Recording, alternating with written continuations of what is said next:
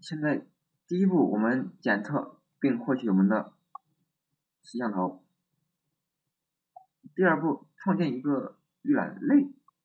第三步，创建一个预览的布局文件。第三步我们已经完成。那下来，接下来我们就看一下我们的第四步，为我们的拍照设置一个监听。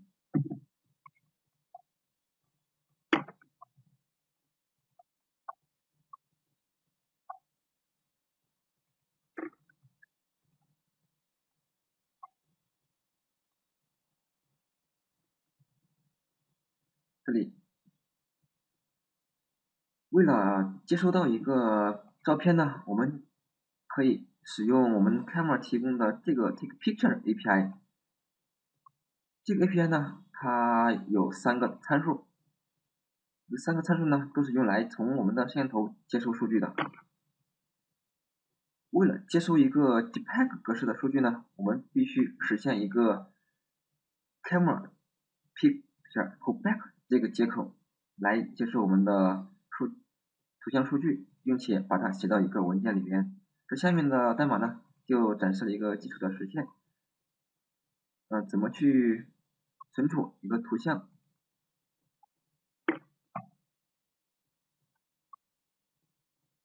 首先，我们定义一个 MyPicture，这个 MyPicture 呢，就是我们的 Picture Codec，是我们这个这个类型的 Picture。利用了一个这种接口，然后把它这个 callback，把它这个函数覆盖在里边，在它里边实现了什么呢？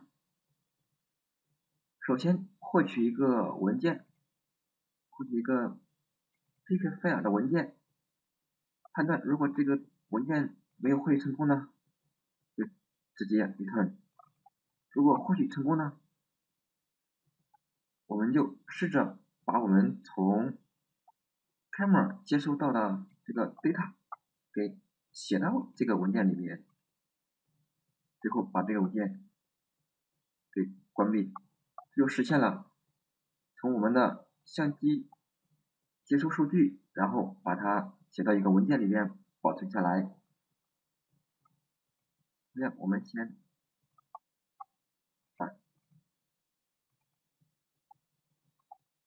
这个代码 copy 到我们代码这里，直接我们把这个包导入一下。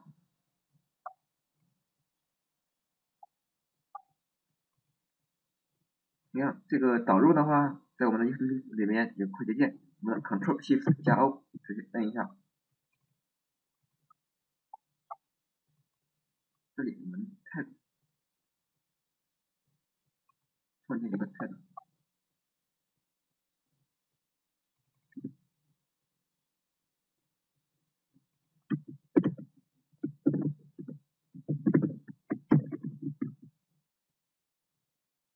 我们把它改个类型。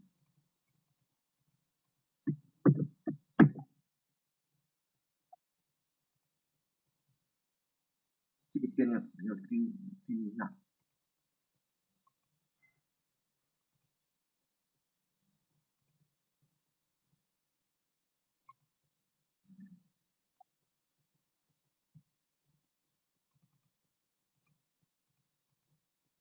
我定义一个这种变量。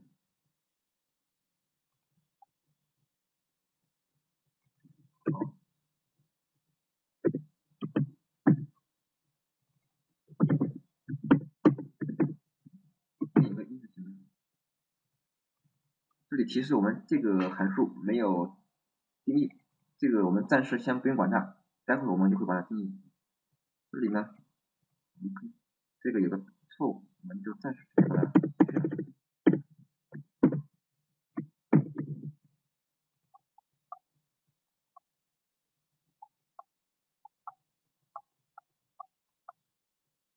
现现在呢，我们就已经实现了一个我们的 Picture Callback 这个接口。然后呢，我们就为我们的拍照把这个监听给设置下去。怎么设置呢？首先看这里，我们通过我们的 Find View by ID，首先找到我们的 Capture 这个 button，然后呢，通过调用我们的 Set OnClick Listener，把我们的监听设置一下。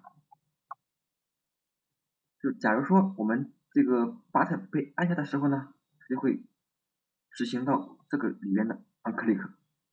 在这个 OnClick 里面呢，我们就调用一下我们 Camera 的 Click Picture 这个 API，然后把我们刚刚实现的 Picture Callback 这个 Callback 接口给设置下去。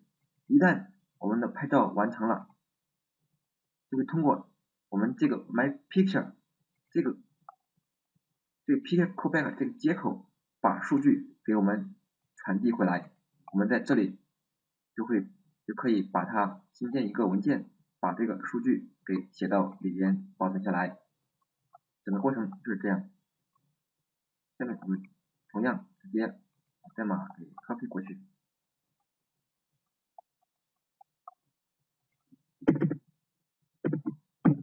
我们就为我们的发射按钮设置一个监听。同样，我们 Ctrl C O 导入一下我们的包。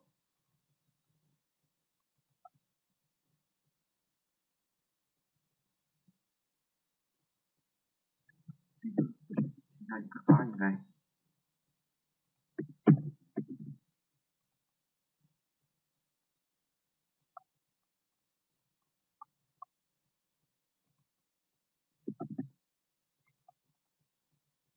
那下面呢是我们的怎么去录像啊？这个呢我们就暂时先不看它，如果有兴趣的话，大家可以下去具体看一下，也是录像相关的。我们先直接把它跳过。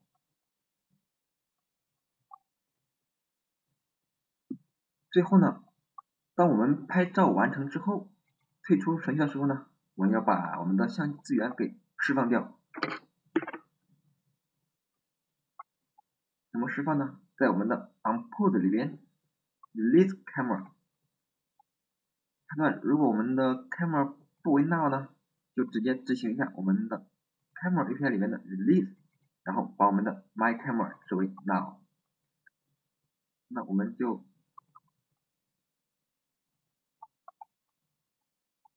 添加一个我们的 OnPose，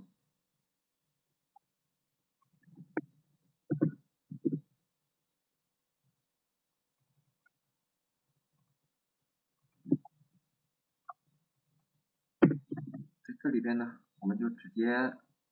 去释放我们的相机吧。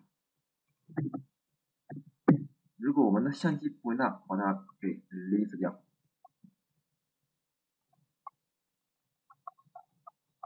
这样，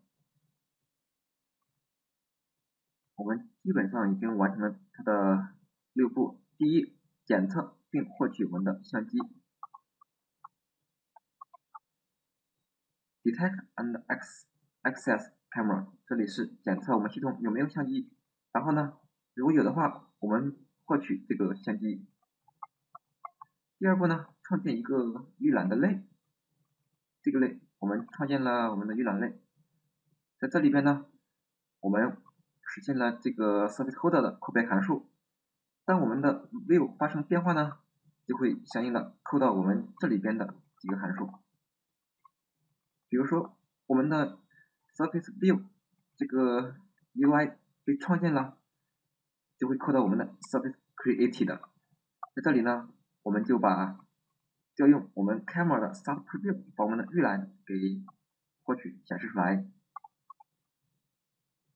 我们的 Surface View Destroy 的呢，我们的 Surface View change 就是我们的 UI 发生变化了，都会对应到我们这里。这里我们可以去做一些相关的操作。来实现我们所需要的功能。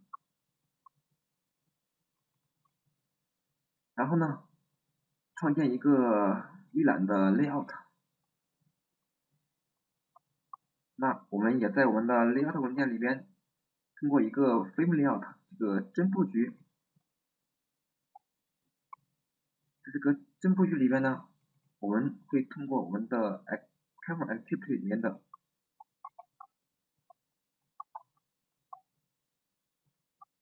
代码 new 一个 surface view，然后找到我们的 frame layout，把我们的这个 surface view 添加到我们的 frame layout 这个容器里边，到时候我们的 surface view 就可以接收到来自摄像头的数据，并把它显示出来。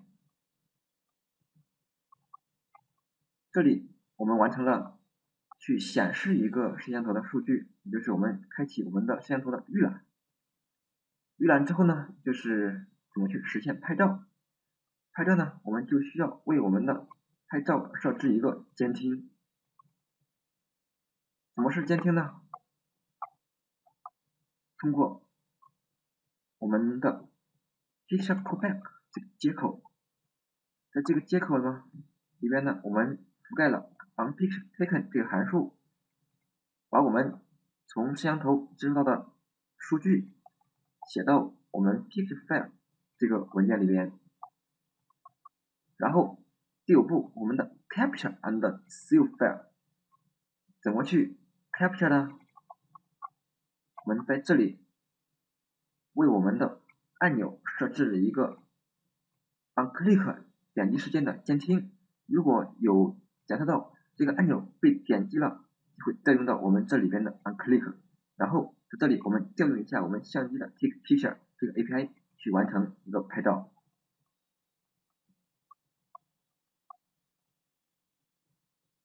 最后呢，用完了相机了，就是对相机的一个释放 Release。Release 呢，我们在我们的 Unpose 里边直接调用我们的 Camera 的 Release。这个。就是我们实现一个简单的相机应用程序，从预览、开启预览到拍照，最后释放我们的相机资源，大概的一个过程。这里呢还有一个 get output media file，怎么去获取一个文件？这个函数我们没有定义，下面我们就把它完善一下。这里呢。官网直接已经给出了一个它的实现，我们就直接把它 copy 过来。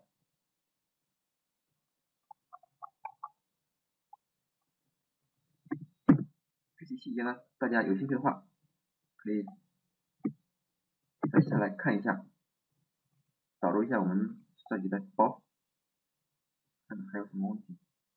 哦，这个是录像相关的，我们这里呢就没有用到。也把它给去掉。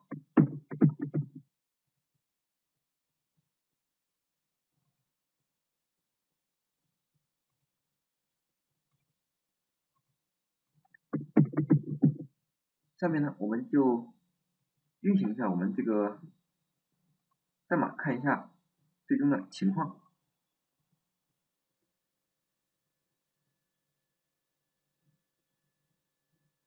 我们的程序运行起来之后呢，是这样的，啊，可以看到我们这里，这就是我们的预览界面，然后这是一个拍照按钮，我们点击可以去拍张照。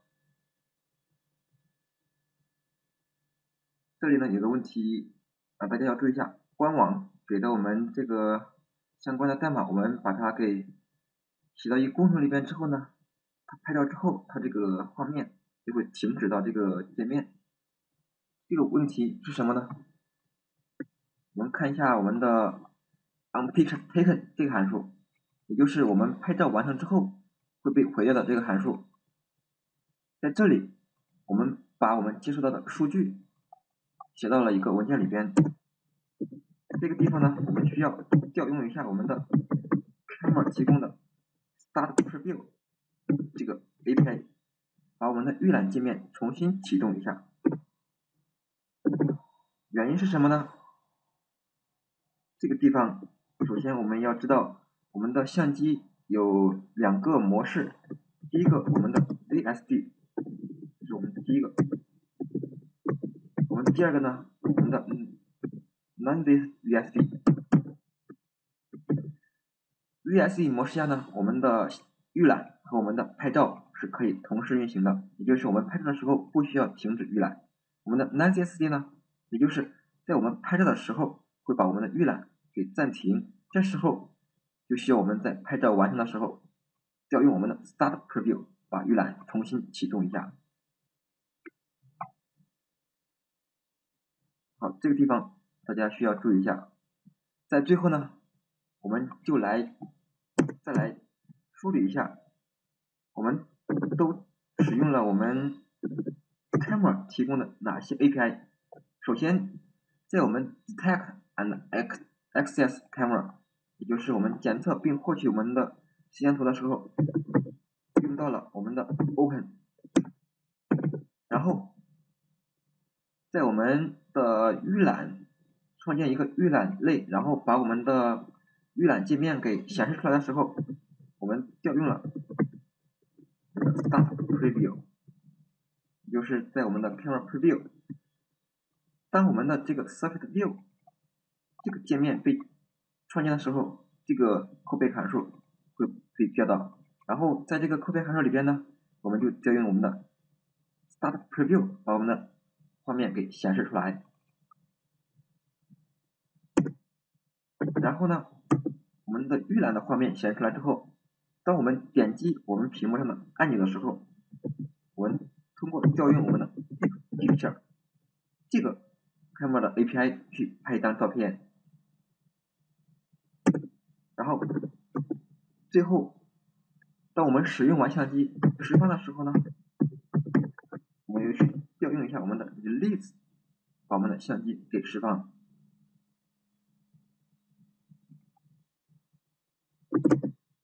相应的，我们拍完照照片的获取呢，我们还用到了我们 Camera 提供的 Picture Callback 这个接口。这里 Start Preview 对应的还有我们的 Stop Preview 等等这些，可以看到拍照这个 Picture 开始显示预览的画面 Start Preview。本来这些东西都是些很复杂的东西。但这里呢，我们只需要通过调用我们的 Android 给我们提供的很简单的一个接口 API，我们就可以把这个功能给实现了。这个就是我们这个实例所 API 那么 API 的一个使用的基本情况。好，这节课我们就讲到这里。